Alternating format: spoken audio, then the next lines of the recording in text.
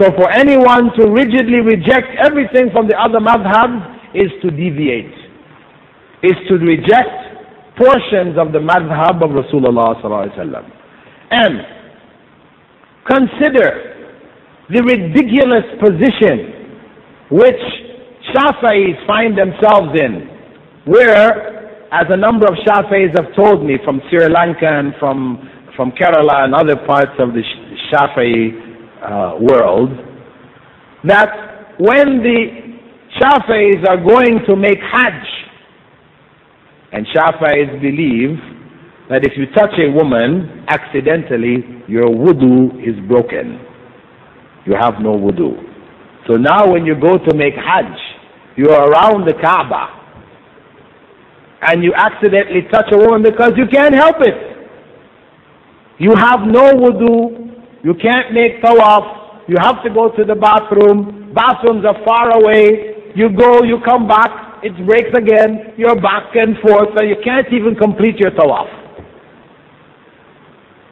So Hajj becomes hell.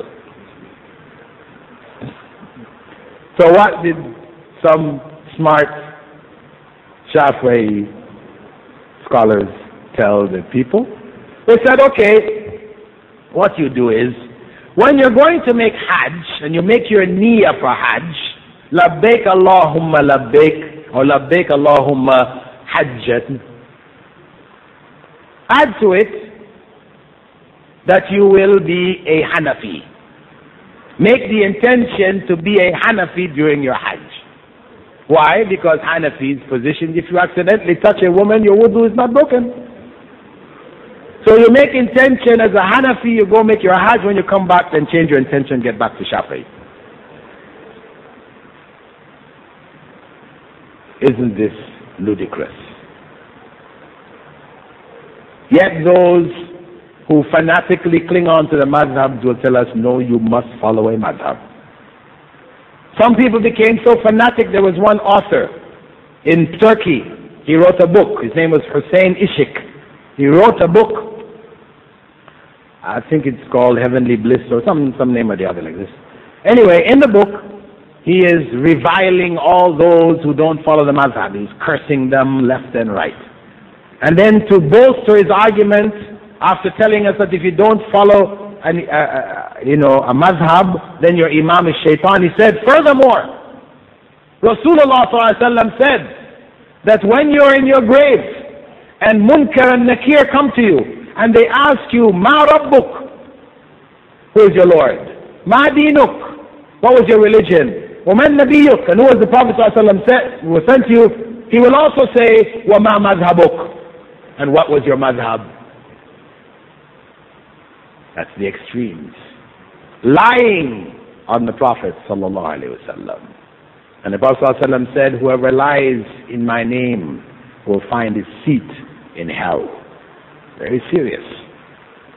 I ask Allah to forgive that man and let him know the truth and to correct himself because he's on a very dangerous path. But the point is that today, as Muslims, having understood that we must follow the Quran and Sunnah, people ask us, what is your madhab? We're still kind of stuck, we say. Our madhab is that of Rasulullah sallallahu alaihi wasallam. It is the madhab of the Sahaba, the madhab of the great Imams. I'm trying to follow that same madhab. It doesn't matter if my teacher happens to be Shafi'i, because Imam Shafi'i was following the madhab of Rasulullah sallallahu. So we make a distinction between the way of that early generation of scholars and what came to be known as the madhab, which is a rigid confine which the latter day generations are faced with. Make a distinction between the two, and we can study wherever knowledge is available to us, and know, believing that we are trying to follow the madhab of Rasulullah wasallam, which is the one way, the one way to paradise the one out of the 73. The same one which the Sahaba walked on. which the early generations walked on. This is the one and only correct way. Now, in closing, there is a point mentioned uh, in our times which has become somewhat controversial. We hear the term Salafi. And Salafi has come to be in the same category of Wahhabi or Ahli Hadith or your Najat or whatever, deviants. Well, Salafi is not a madhab. Be sure. There is nobody by the name of Salaf, so we can call ourselves Salafis. Salaf means the forefathers. And when they use the term Salaf, it means as Salaf as Salih. That is the righteous forefathers. The Sahaba, the Tabi'een, the Tabi' Tabi'een. They're referred to as the Salaf as Salih. Whoever follows them, in Arabic, the term for one who follows that way is Salafi. It's not, as I said, another school. It is the same school about which we've been talking all along. It's not a new school. It's not named after anybody. It's just a mindset. How do we understand the Quran and Sunnah? We understand it according to the Sahaba and that early generation. If we take that path, if we understand it that way, then the term in Arabic is Salaf and Salafi. That's all. Now, if you have a group here which claims we are the Salafis, now you have to look and see. There is no group called Salafi, but they have a group and they call themselves Salafis.